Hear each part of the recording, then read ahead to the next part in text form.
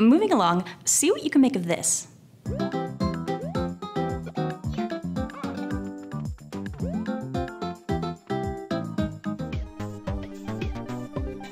It may look like good old Super Mario Maker, which launched last year on Wii U, but this is Super Mario Maker for Nintendo 3DS.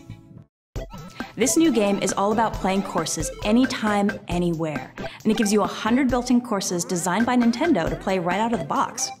These levels have medal challenges, from collecting every coin to defeating every enemy before reaching a goal. I wonder how many medals you can collect. You can also go online to play courses made using the Wii U version.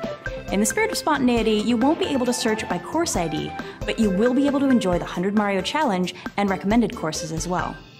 While not every course created in the Wii U version will be compatible with this release, we're confident there'll be no shortage of great content for you to play. You'll also be able to get courses directly from your local friends, but we'll get to that in a bit.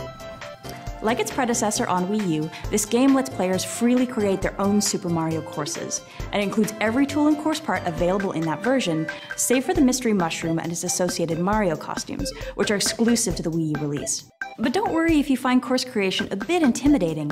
Mario and Yamamura are back with interactive tutorials that'll have you creating with confidence in no time.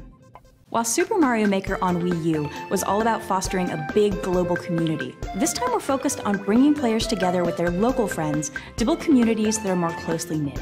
So instead of uploading courses online, courses you make will be shareable via local wireless and Street Pass.